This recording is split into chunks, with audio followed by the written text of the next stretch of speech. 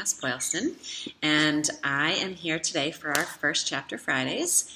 And I'm going to be reading the first chapter from four books from the children's room at the library. So I'll read two from the green section, which are middle level readers, and two from the yellow section, which are our more advanced readers. So the first story that I'm going to read today, I chose because it looks like it could be a little bit spooky, and Halloween is coming up.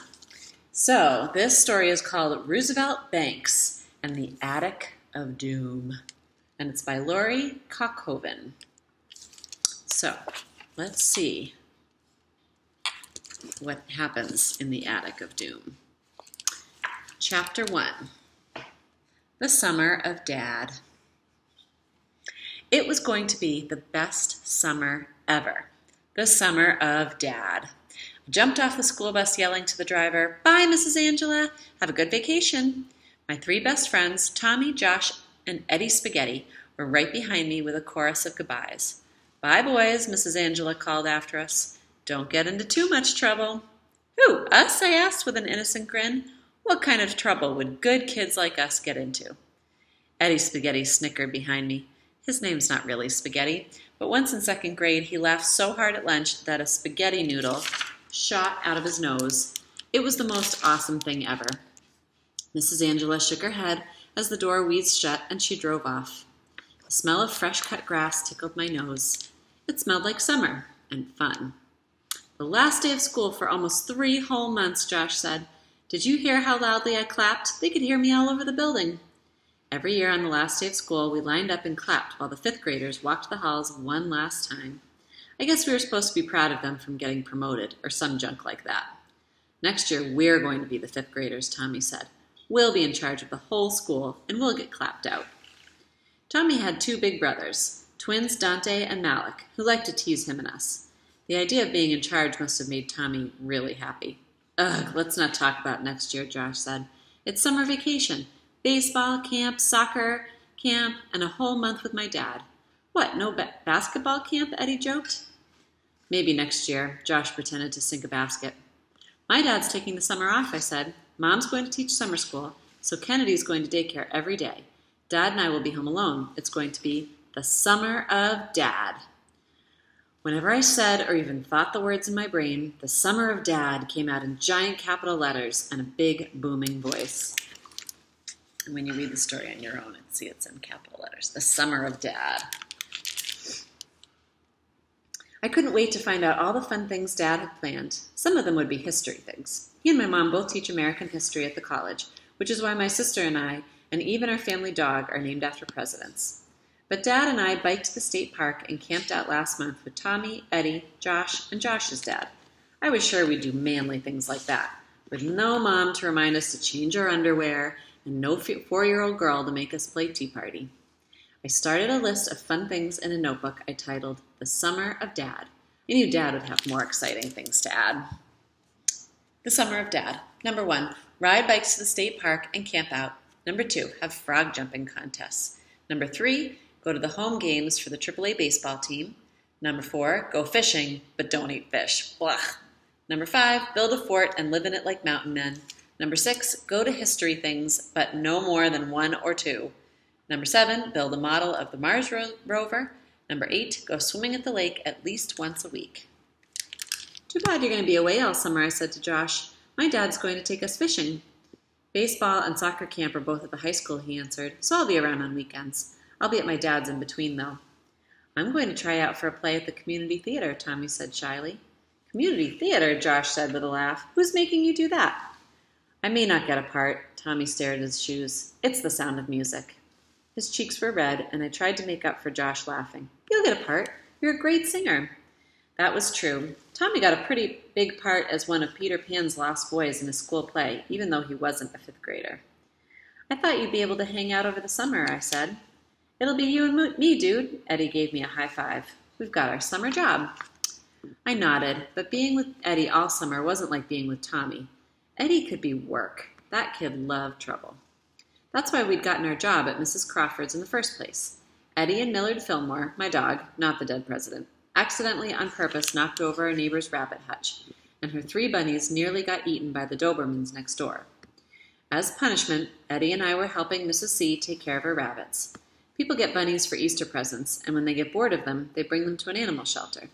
Some people even let their tame rabbits go free to be eaten by wild animals, which is really messed up. Mrs. Crawford pays to have them fixed so they can't have babies and tries to find them homes. Eddie and I feed the rabbits, clean their cages, and make sure they have water. We had a booth at the field day to raise money for them, but the booth kind of backfired when someone left two rabbits in a cage on Mrs. Crawford's front porch. I named them Neil Armstrong and Buzz Aldrin after the first two men who walked on the moon. But Armstrong turned out to be a girl, a pregnant girl. Come on, hurry, I said. Let's see if Armstrong had her babies yet. She hadn't, but we still had three rabbits to feed and water and three cages to clean out.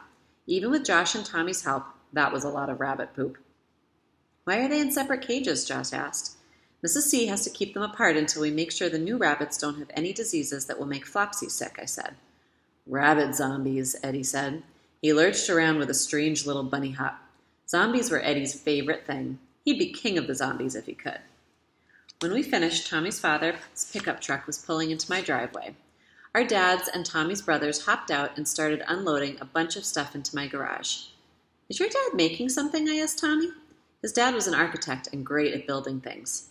He even made a new rabbit hutch for Mrs. C. The twins tried to make an elevator out of spare bike parts so the bunnies would have a two story penthouse, but it freaked Flopsy out. Not my dad. Tommy's cheeks were red again. Yours. My dad's helping. Mine? I asked. Ask my dad who our 21st president was, and he'd answer Chester A. Arthur without even thinking, even though Arthur was only a one term president that got the job after someone shot James Garfield. But building things? Not my dad's strongest point. What's he doing? I asked. The attic, Tommy said. They're going to finish it, turn it into a real room. The attic? Dread washed over me like it did when my name was called over the loudspeaker, with instructions to report to the principal's office. That's where the ghosts live. That's why we call it the Attic of Doom. Bad luck, dude. Eddie Zombie walked toward me. They let those ghosts out of there, and there's no telling what will happen. I felt sick to my stomach. Was Dad being going, going to be too busy dealing with ghosts to do anything fun at all? What about the summer of Dad? So, the next chapter is going to be called The Summer of Ghosts. So, if you want to read this story, Roosevelt Banks and the Attic of Doom, you can find out more about why Eddie's, um, why his uh, Roosevelt's attic is filled with ghosts, or if it really is filled with ghosts, and see what happens to his summer. Okay, the next one that we're going to read is called Cinderella Smith um, by Stephanie Barden.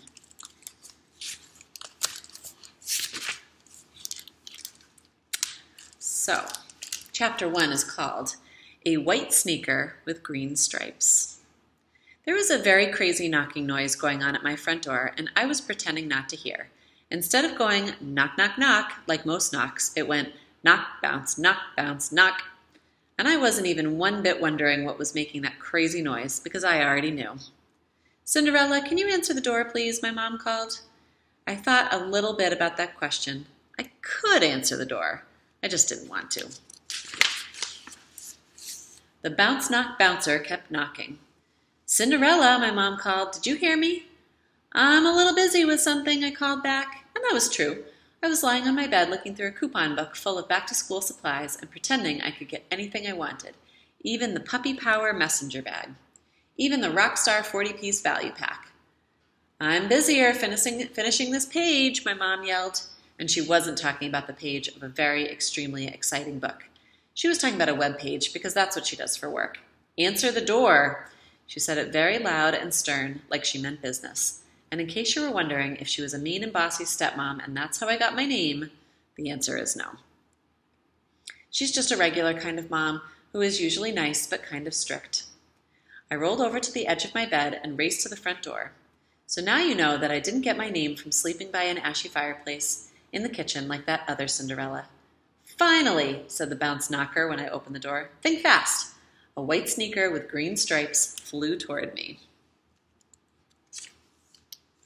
So now we know what was bouncing. Good catch, Tinder, said the bounce, bounce knocker. The bounce knocker, by the way, lives next door and is named Charlie Prince. He was making that crazy noise by dribbling his basketball and knocking on the door at the same time. When we were very little, we called her Tinder and Tarls because we couldn't say each other's name just right. As soon as I could, I started calling him Charlie, but he keeps calling me Tinder because he knows it embarrasses me, and this is why. Back when I was calling him Tarls, I had for some dumb reason a crush on him. In this instance, I am allowed to use the word dumb because it's about me and because it really was dumb. I used to walk over to his house every morning and ask if he thought I looked pretty. If he said yes, I went back home and had breakfast. If he said no, I went home, changed my clothes, and tried again. And that is embarrassing stuff with a capital E. You don't need to put your name and address on your shoes anymore, said Charlie. No other kid loses just one shoe. You don't need to bring a basketball with you everywhere you go either, I said. I was a little bit proud of myself for coming up with that. Usually I never think of anything to say when he's pestering me. Charlie shrugged his shoulders and kept dribbling. Did you get your back to school letter? Yep, I said. Who'd you get for a teacher? he asked. Someone new named Mr. Harrison. I didn't want Charlie to know, but I was a little bit worried about getting a man for a teacher. I'd never had one before, and I didn't know what to expect. Oh, no! Charlie turned and jogged toward his driveway. I got him, too! Oh, no is right, I said. Charlie and I haven't had the same teacher since Mrs. Adams in first grade.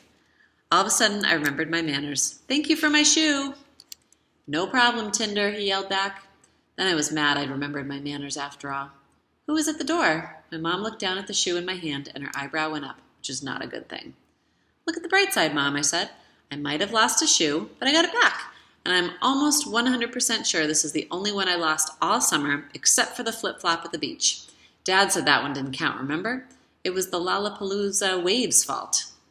My mom's eyes, eyebrows stayed up, but Tess ran into the living room naked.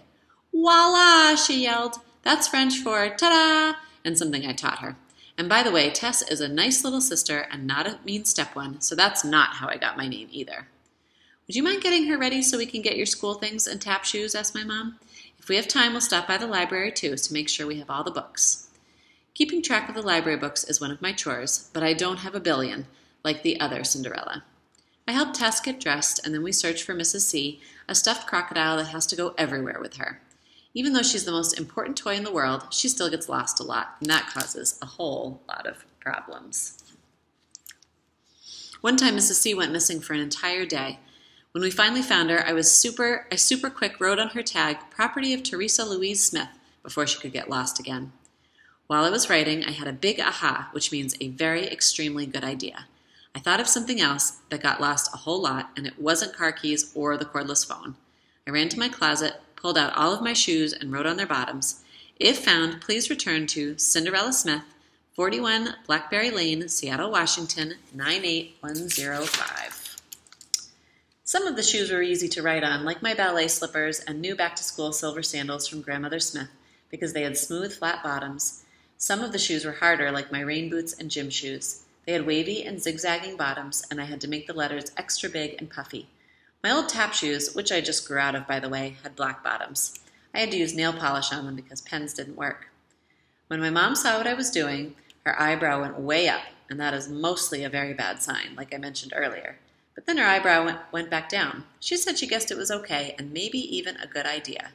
After all, and since then I've been naming and addressing my shoes as soon as I get them to keep them safe. So by now you've probably figured out how I got my name, which is just a nickname for the record. My real name is Josephine Catherine, with that little line thing in between them. It's called a hyphen. Everyone calls me Cinderella, though, on account of my trouble with losing shoes. Alas! Alas is something I say when I'm a little bit frustrated and a little bit sad, since I like the sound of that word, especially if I say it dramatic and sighy. Ah, alas! It makes me feel a little bit better. And when you have shoe trouble as bad as I do, you end up saying alas a lot. Alas. And the next chapter is going to be called Shiny Ruby Red Tap Shoes. So if you want to find out more about Cinderella Smith and her problem with her shoes, you can check this book out at the library. It's in the green section. Okay, so now we have two books from our yellow section, which is the section for our older readers or readers who are interested in longer chapter books with more words, fewer pictures. So this book is called The Candy Makers. There's going to be a lot of candy floating around pretty soon, so I thought this would be a good one to read, and it's by a woman named Wendy Mass. So it starts with a couple things that are not really chapters. This is like a, a certificate. And it says, Congratulations, future candy makers! You have been accepted to compete in the annual New Candy Contest, sponsored by the Confectionery Association. The following participants from Region 3 will be, report to the Life is Sweet Candy Factory two days prior to the contest. Logan Sweet, Miles O'Leary, Daisy Carpenter, Philip Ransford III. And then we have a news story from the Spring Haven Herald. Breaking news. The results are finally in from the Confectionery Association's annual two candy, New Candy Contest. 32 12 year olds from around the country were invited to create a brand new candy to enter in this highly respected 100 year old competition. According to insiders, the competition was particularly fierce this year. The contest day was marked by surprises that rocked the very foundation of the candy industry, including the shocking news that one of the country's most celebrated candy factories will close its doors. The winning candy will soon be available nationwide. However, the factory that will manufacture the winning candy has not yet been decided. Chapter 1. Well, this isn't even chapter 1. This is like an introduction. Things you need to know. Once there were four children whose names were Logan, Miles, Philip, and Daisy. Each of them had recently turned 12. Although none of them knew it yet, their lives would never be the same. You might ask, what makes them so special that their essays were selected over hundreds of others? Why do they each want to win the contest so badly they are willing to risk everything? Perhaps it would be best to show you. Let's start with Logan, since he is the candy maker's son, after all. But don't think he has an edge in the contest just because he was born smelling like chocolate. Logan has the hardest task, for he must be your eyes and ears. Pay close attention to what he tells you about the others and himself, and what he doesn't. The others will get their chance too, but it's only fair to start with Logan because if it weren't for his father's generous invitation to help prepare the others for the contest, Miles, Daisy, and Philip wouldn't be standing outside the Life is Sweet factory right now, wondering if they should knock on the huge wooden door or just let themselves in. Part 1 Logan. Chapter 1. Logan didn't have to open his eyes to know that morning had arrived. The sweet smell of cotton candy wafted into his room that wafted into his room worked better than any alarm clock. He rolled over so his nose nearly touched the air vent. You might think that if your bedroom were inside a candy factory, your bed would be shaped like a lollipop. But Logan had gotten rid of the lollipop shaped bed last month when he turned 12. It had become uncomfortable not being able to bend his knees while he slept. Logan loved the start of a new day when the air was thick with possibilities, and in his case, with the smell of chocolate, caramel, nougat, and spun sugar. The breeze through his open window brought the room to life. The pages of his comic books rose and fell as if they were taking deep breaths. Paper drawings on the walls fluttered. The fur of his stuffed dragon rippled, making it appear to be moving very quickly without actually moving at all. Logan focused his attention on his breath, as he did first thing every morning. He breathed in and breathed out. With each new breath, he recounted the things that he was grateful for the new day, being here to enjoy it, his parents, the factory, all the people who worked there. In, out, in, out. He matched his rhythm with the familiar hums and whirs of the candy machines, powering up for the day. The sizzle of licorice root on the stove made him pause mid inhale. Soon his mother would start scraping cinnamon bark into the oatmeal she made each morning, and he always liked to be in the kitchen for that part. So, what are we going to do today? his dad sang outside Logan's door.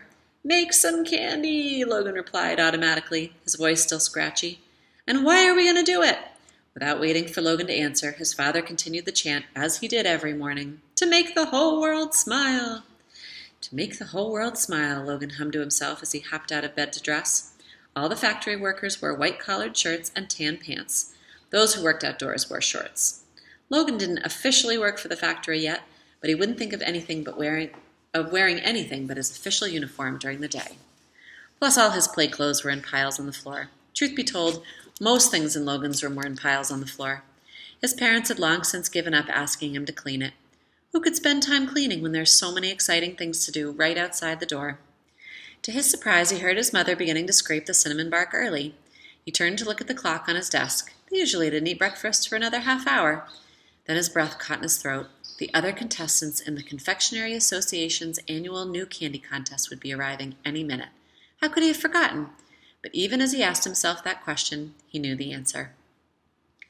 Having um, three other kids spend two whole days at the Life is Sweet candy factory was so out of the ordinary, so different from his usual routine, that he hadn't really believed it would ever happen. Their factory had never hosted any contestants before, and this year he was finally competing himself. The only problem was that Logan didn't have much experience with other kids. Sure, he played Name That Cloud on the lawn with the workers' kids sometimes, but most of them were much younger. The factory's annual picnic used to bring people from all over Spring Haven to the grounds, but it had been so long since the factory held a picnic that he barely remembered them.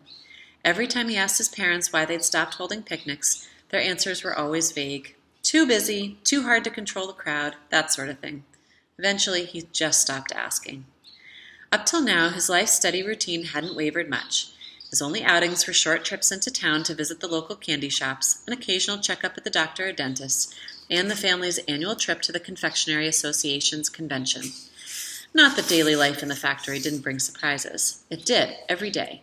But he usually knew what to expect. A candy machine that had ground to a halt, a clogged irrigation tunnel in the farm, the labels for the pink sour fingers getting stuck on the blue sour fingers container, or some other issue that could usually be fixed with a squirt or two of oil. If only making friends were as easy. He raced into the bathroom to perform the quickest face washing, toothbrushing in recorded history. He reached for his rarely used comb, only to watch it slip right through his fingers. He was not used to dropping things. A career as a ball player. Oh, he was used to dropping things. A career as a ball player was not in his future. Holding the comb firmly this time, he ran it through his shaggy hair, wincing as he encountered a knot. With his father's olive skin and his mother's wheat colored hair, Logan resembled no one else he'd ever seen. He didn't look in the mirror very often, but when he did, he was always surprised to see he'd gotten older. He arrived in the kitchen, sliding the last ten feet in his socks, just as his mom pulled a jug of fresh milk from the dumbwaiter built into the wall. She swung the metal door shut, and the old gears creaked into action, pulling the tray back down to the dairy processing room. The candy maker took the pitcher and poured out three creamy white glasses. He took a big gulp from the largest one, nodded in satisfaction, flicked a switch labeled Milk on the wall. This signaled the farmers to send the milk to the cocoa room and other areas of the factory that needed fresh milk every day. As a main ingredient in so many products, one could never be too careful. One day it would be up to Logan to determine if the milk was good enough. His dad handed him a glass. Logan grasped it with both hands, took a small sip, and swished the milk around in his mouth for a few seconds before swallowing. Bessie? he asked. The candy maker shook his head. Cora. Logan frowned and plopped down into his chair. He had been so certain. Bessie's milk had a slightly nutty taste. Cora's was thicker and mint flavored, which he chalked up to the fact that the field where the cows grazed bordered the peppermint plants. Was he losing his touch? Being able to distinguish between milk of two different cows was a basic skill for a candy maker. The candy maker reached past his generous belly and ruffled his son's hair. Just kidding, it was Bessie. Logan sighed in relief. His mother shook her head disapprovingly, but her husband just grinned. Gotta keep the boy on his toes. He tossed a few slivers of dark chocolate into his milk and stirred briskly. Now, Logan, he said between sips, be sure not to make the other kids feel insecure today. After all, you grew up here, and this is their first time visiting a candy factory. I'll be sure not to shout the temperature at which sugar boils, Logan promised. The candy, candy maker laughed. I'm sure you won't. Here you go, Logan's mom said, handing him a folded piece of notebook paper. He tucked the paper into his back pocket without reading it. This tradition had started when he turned eight, and his mother was trying to find some way for him to, to make him enjoy reading more. She'd found a poem called Keep a Poem in Your Pocket. Now, each morning he got to carry a poem or a quote in his pocket.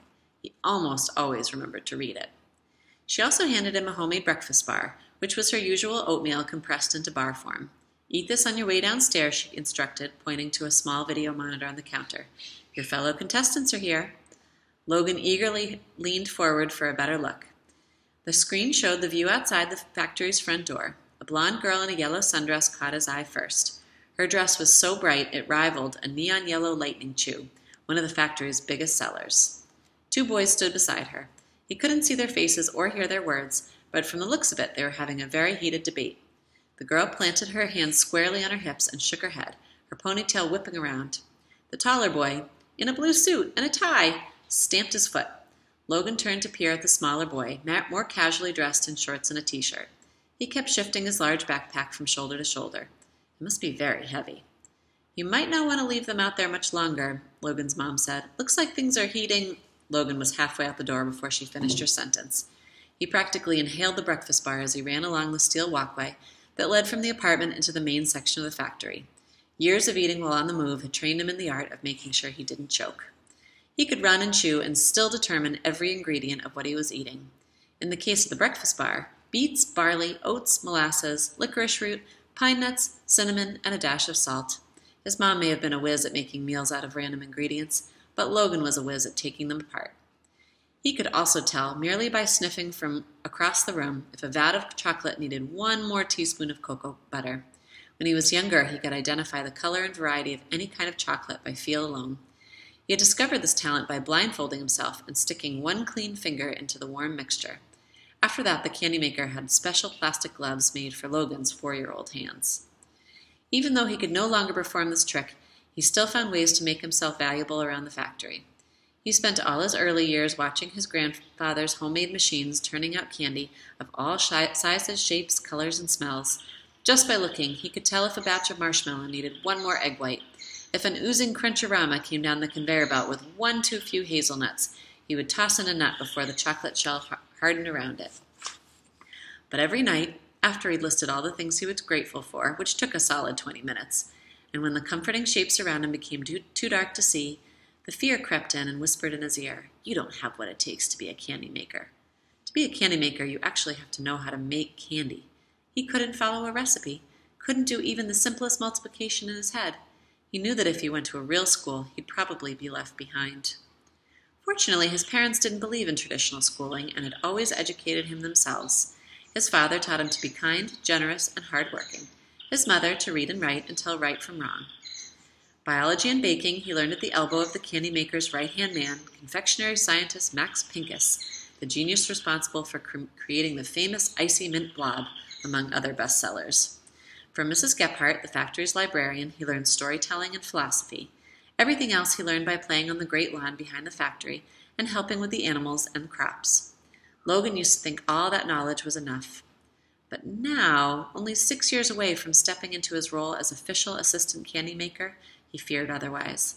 Sure, he was great at working with the candies they'd already created, but ask him to create his own nougat, for instance, and it would be a scorched mess in no time. He couldn't translate ounces into cups or keep sugar at a steady boil, although he tried for years. Heating sugar to exactly the right temperature was the very foundation of candy making. A few degrees too high, and your gummy dinosaur would turn into a lollipop. But if he were to somehow win this contest, as his father and grandfather had when they were his age, he would not ha- only prove to the candy making community what he had, that he had what it took to make great candy, he would prove it to his parents and to himself. Hey, are you winning the race? Henry, the head of the marshmallow room and one of Logan's favorite people, called out as he ran by.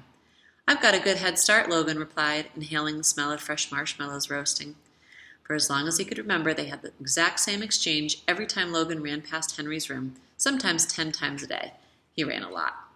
Greetings flew at him from all sides as he raced past the taffy room and the nougat room, his sneakers squeaking on the shiny linoleum floors. He waved in response, in too much of a hurry to chat. His feet slowed down as a thought struck him. The other kids would know a lot more about the world than he did. What if they didn't like him? What if he didn't fit in? He came to a full stop. Luckily, he had stopped right outside the candy laboratory where no one could focus on anything but candy. Logan loved to watch Max and the assistant candy scientists in action. Today, Max's team was testing how long it took for their tongues to return to normal temperature after sucking on Fireball Supernovas, their newest invention. Each one held a stopwatch and a clipboard. A few were red faced, one was panting. Logan glanced around the room. Max's bald head made the group easy to find. He stood beside one of the large steel kettles in the back, stirring the spicy cinnamon brew for the supernovas with a long wooden spoon. Every few seconds, he added a drop of red pepper oil. In the opposite corner of the lab, a recently harvested carrageen crop lay soaking in large metal pans. Logan wrinkled his nose at the marshy smell of the red dish purple seaweed, which wafted all the way out to the hall. After being processed, carrageen produced a gel for all the Candy Maker's gummy products, including Gumzilla and Gummisaurus Rex, which at 13 inches tall were the world's largest commercially sold gummy dinosaurs. The gel was also used on products that required a sugar coating, like the high jumping jelly beans, or a chocolate coating, like the oozing Crunchorama. Logan had spent many a messy afternoon coating caramel balls with carrageen before rolling them in chocolate. He could watch the scientists all day, but he knew it would be rude to keep the other kids waiting any longer, so he turned away, breathing deeply. His lungs expanded with the fresh air that was constantly pumped into this section of the factory to keep the temperature the ideal 70 to 72 degree candy making range. Refreshed, he ran without stopping to the large front entryway. He heard the bell ring a few times as he approached the thick wooden door, but when he reached it, his hand lingered on the brass doorknob. What would he say to the newcomers? Why hadn't he prepared a welcome speech like those he'd heard his dad give to their new employees on their first day? Well, he might not have a speech, but at least he had a poem. He reached into his pocket, took a deep breath, and swung open the door in time to hear the boy in the suit say, And that's just the way it is. Then three faces turned expectantly toward his. In that moment, all their fates were sealed. They just didn't know it yet. So if you want to find out what happens next in The Candy Makers, this book is at the library. Okay, and our last book as we wrap up Hispanic American Heritage Month is called Merci Suarez Changes Gears by Meg Medina.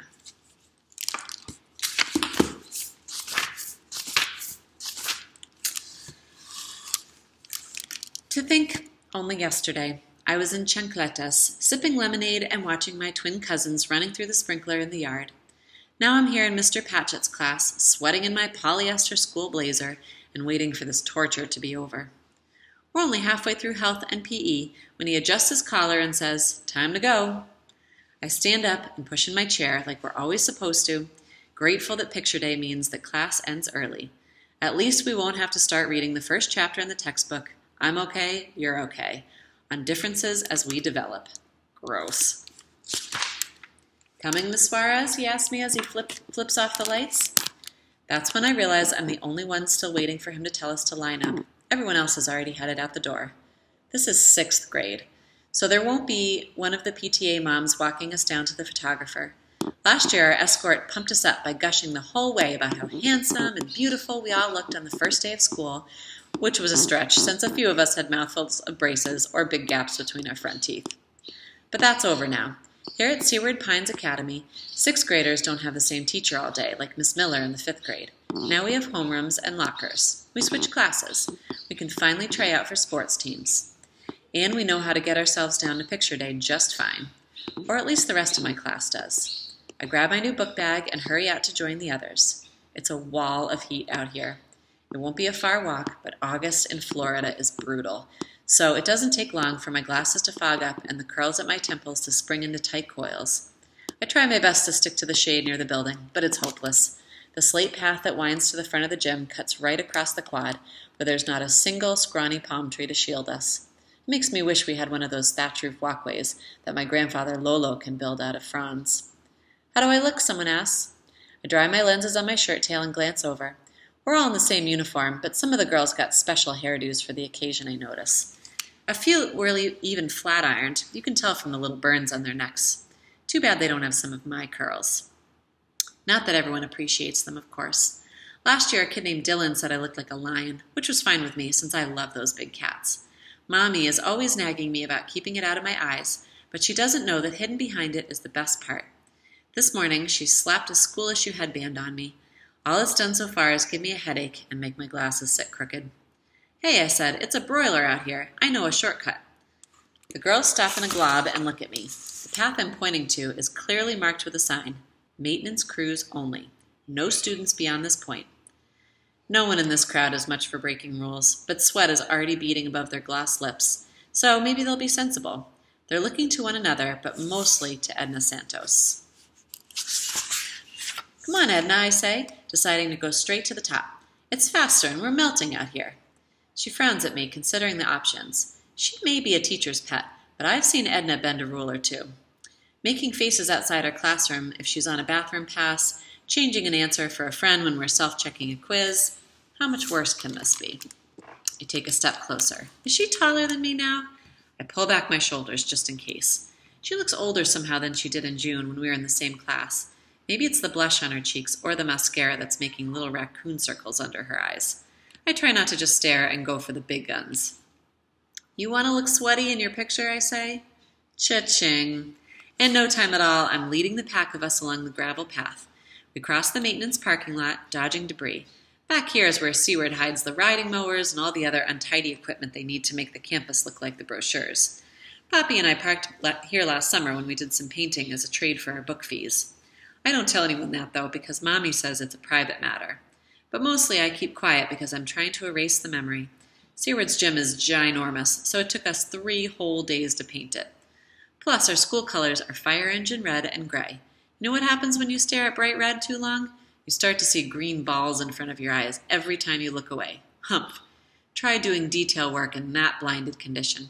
For all that, the school should give me and my brother Roli a whole library, not just a few measly textbooks.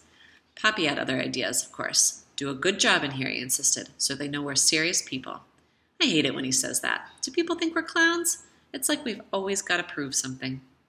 Anyway, we make it to the gym in half the time. The back door is propped open the way I knew it would be. The head custodian keeps a milk crate jammed in the front door frame so he can read his paper in peace when no one's looking. This way, I say, using my take charge voice. I've been trying to perfect it since it's never too early to work on your corporate leadership skills, according to the manual Papi got in the mail from Chamber of Commerce, along with the What to Do in Hurricane guidelines. So far, it's working. I walk us along the back rooms and even past the boys' locker room, which smells like bleach and dirty socks. When we reach a set of double doors, I pull them open proudly. I've saved us all from that awful trudge through the heat. Ta da! I say. Unfortunately, as soon as we step inside, it's obvious that I've landed us all in hostile territory. The older grades have gathered on this side of the gym for picture day, and the door's loud squeak has made everyone turn in our direction to stare. They don't look happy to have the little kids in their midst. My mouth goes dry. They're a lot bigger than we are, for one thing. Ninth graders, at least. I look around for my brother, hoping for some cover, but then I remember that Roli got his fancy senior portraits taken in July at a nice air conditioned studio at the mall. He won't be here at all today. He'll be helping in the science lab as usual and working on his college applications in between. So here we are, trapped, thanks to me. Oh my God, they're so cute, a tall girl says, like we're kittens or something. She even steps forward and pats the top of my head. I look at my shoes, my cheeks burning. Edna pushes past me as if we're not surrounded. With a flip of her black hair, she takes over, the way she always does. Follow me, she says. This is no time to be picky. I stay close behind her as she marches us toward the other side of the gym. Thankfully, Miss McDaniels, our school secretary, doesn't notice that we came in the wrong door. She's usually a stickler for rules, but she's too busy collecting payment envelopes for the sixth graders and running crowd control. Still, she does notice that we're all snorting and giggling the way you do after surviving an especially scary roller coaster ride. Quiet, please, girls, she snaps without looking up from her clipboard as we reach her. Ladies to the left, gentlemen over here. Shirts tucked, please. Have your forms and money ready. I get in line behind a girl named Lena, who's reading while she waits, trying hard not to look at Miss McDaniels as she checks everyone's selections. Mommy only marched the cheapo basic package, and I happen to know, because it said so in gigantic font on the letter we got home this summer. The picture day at Seward is one of our biggest school fundraisers. You're supposed to buy a lot, like for your family in Ohio that barely knows you and whatnot. But my family mostly lives on the same block, one house next to the other. We see each other every single day. Besides, my portraits don't ever turn out so great. It's my left eye that's the trouble. It still strays sometimes, pulling out as if it wants to see something far off, all on its own. When I was little, I wore a pirate patch on my good eye to make the muscles in the bad ones get stronger. And when that didn't help, I had a surgery to straighten it. But even now, my eye still gives me trouble when I least want it to, like picture day. If only Miss McDaniels would let me take my own picture instead. The camera in my phone is awesome. Plus, I downloaded PicQT, so it's fun to edit the pictures I take. My favorite thing is turning people into their favorite animal puppies, alligators, ducks, bears, you name it, even better than on Snapchat. Now, those would be good yearbook photos. I glance over at Rachel, who's behind me. With her big eyes and tiny nose, she'd make an awesome owl. I move up in the line and scope out the photographer's setup. There's a screen background, sheets on the floor, and those big umbrellas to filter the light. She looks sort of grumpy, but who can blame her? It's just point and shoot all day long, no fun. When she dreamed of being a photographer, she couldn't have meant this. I mean, if I were a photographer, I'd be on a safari somewhere, perched on top of a jeep and shooting rhinos for National Geographic. Not here in a hot, although expertly painted, gym. Next, she says.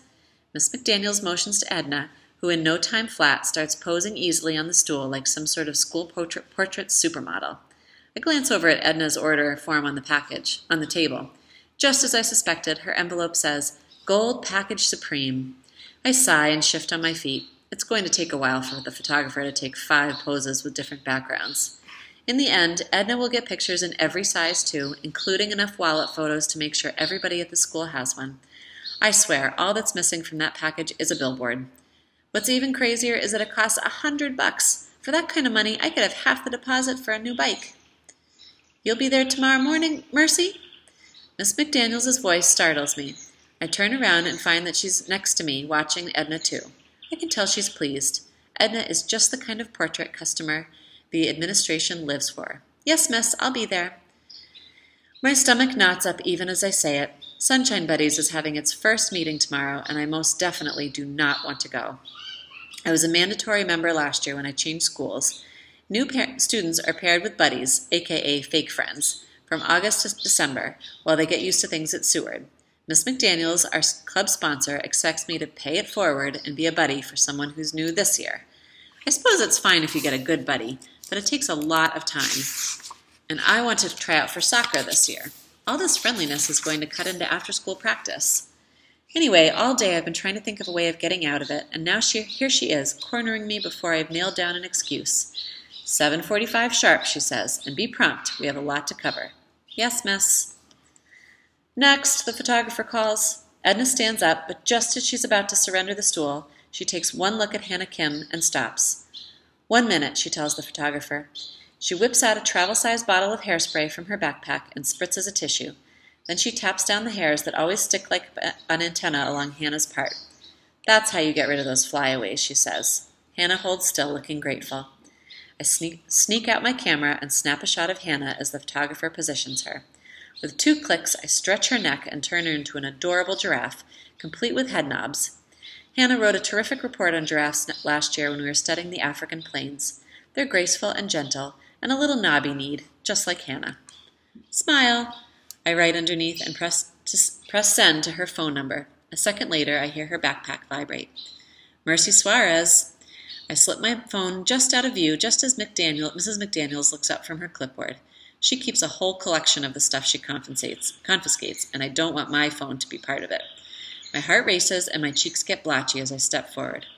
Luckily, she's only calling my turn. The boys in our class start making faces and flaring their nostrils to try to get me to laugh. Normally, I wouldn't care, especially since no one can make faces better than I can. Last year, we used to have contests at lunch, and I always won. My best face is when I push up my nose with my pinkies at the same time that I pull down my lower eyelids with my index fingers. I call it the phantom. But Jamie, who's behind me, shakes her head at the boys and sighs. Idiots, she says. I ignore them as best I can and take my turn. I sit on the stool exactly the way that the photographer says, ankles crossed, torso swiveled to the left and leaning forward, hands in lap, head tilted like a confused puppy. Who sits like this ever? I look like a victim of taxidermy. Smile, the photographer says without an ounce of joy in her voice. Just as I'm trying to decide whether to show teeth, a huge flash goes off and blinds me. Wait, I wasn't ready, I say. She ignores me and reviews her shots. It must be really bad for her to hold up the line this way. Do-overs mean time, and everyone in business knows that time is money. Let's try again, she says, adjusting my glasses. Chin up this time. Chin? Who's she kidding? I already know that's not the problem. My eye is fluttering, and I can feel the soft pull to the left. Look at the camera, honey, the photographer says. I blink and fix both my eyes on the lens, which always makes me look angry, but it's the best I can do. She shoots again and again with an explosion of shutter clicks. I must look as awkward as I feel because I can hear the boys snickering. When it's over, I jump off the stool and head for the bleachers where the others are sitting. My head is pounding from this dumb headband. I yank it off and let my hair hang down my face. Edna moves down as I take a seat for her to wait for the dismissal bell. Shut it, she tells the boys behind us, smiling at them anyway. Thanks, I mumble.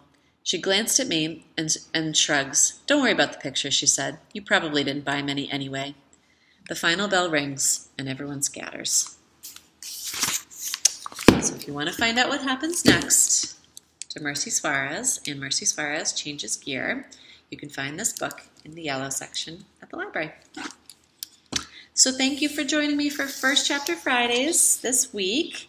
And check back next week for four new books. And remember, you can always stop by the library to find um, some books to read. Thanks. See you next week. Bye.